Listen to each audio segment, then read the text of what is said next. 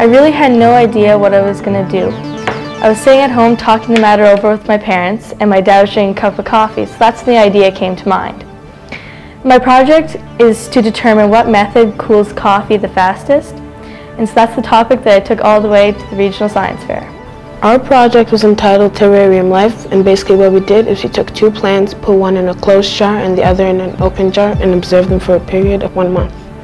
What we are trying to see is if the plant in the closed jar could live just as long as the one in the open jar by getting its nutrients from the soil and the soil getting its nutrients from the plant. They can do whatever they want. And that's the lovely thing about it. You don't have to be locked into astronomy or chemistry or biology. You can take some of all of those disciplines and put them together into a really nice project. The project I took to the science fair was designed for a suspension system that works along the longitudinal axis of cars to extend the duration of collisions and therefore reduce the force felt by the occupants. I think the best projects come from the students themselves. Uh, when they've read something, they've seen something on TV, uh, or an experience that they've had, that idea generally is something that's more compatible for the student. And I can give them a hand to uh, broaden the topic, narrow the topic, uh, find resources, that kind of thing. But coming from the student themselves is the best option.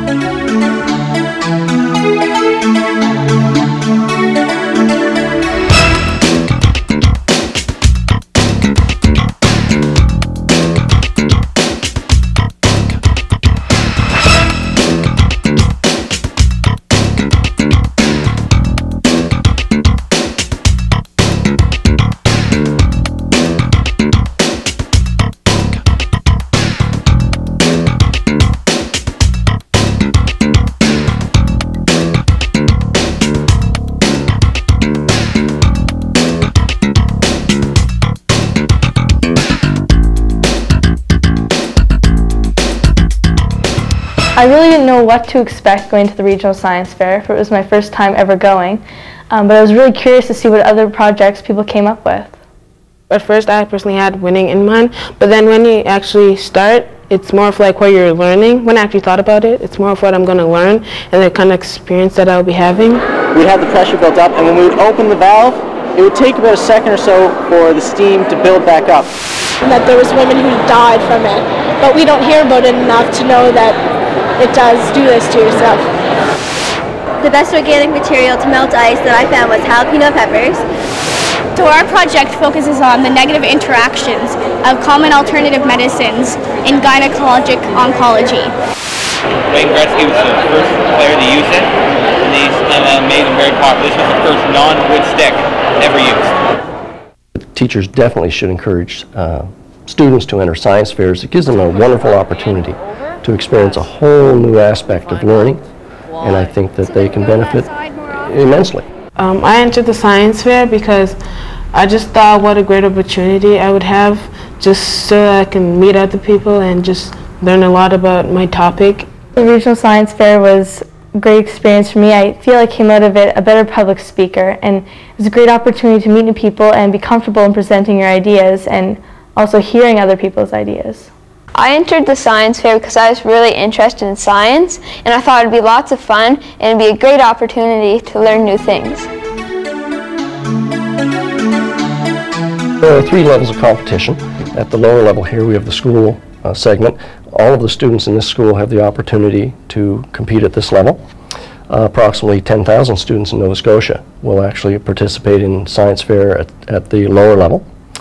At the middle level, we have the regionals. Uh, about 1,000 students in Nova Scotia will participate at that level. From this level, approximately 30 students are chosen to go to the National Fair, where they're judged by experts in the field of study.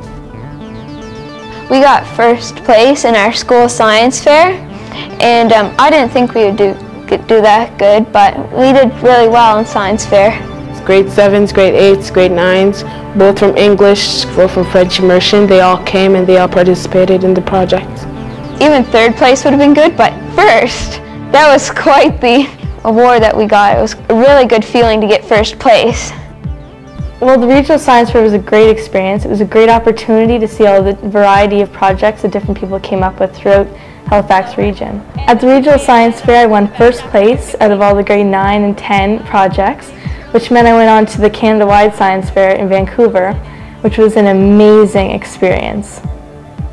The National Science Fair was huge. There were hundreds of students from all over Canada who brought their projects to compete for the fantastic prizes that were available and also to share their experiences. I was very pleased to even be competing at the national level. And then I was fortunate enough to win the bronze medal in the automotive division, which made it that much better. It was a great opportunity to meet so many different people, all of the same interests, and it was a lot of fun. First of all, they gain a tremendous sense of organizational skills and presentation skills. They learn how to do those things very well. They also get a tremendous sense of accomplishment. They've done this project, they've spent several weeks doing this. They can stand up and say, I've done this and it looks good. And I think the third thing that they gain from this is a, a social kind of aspect. They get to go away, they get to go maybe to the regional fair and meet people they've never met before. They get to go to the national fair and do some traveling, and I think it's a great thing for them. And I think, as I say to my students, it's a great way to get out of my classroom for a few days. It's worth the effort, and I'm definitely doing it again. There's a really great website to help you to get started. It's www.sciencefairinfo.ns.ca. Check it out. The toughest part is getting started. Ideas are easy. Science is everywhere.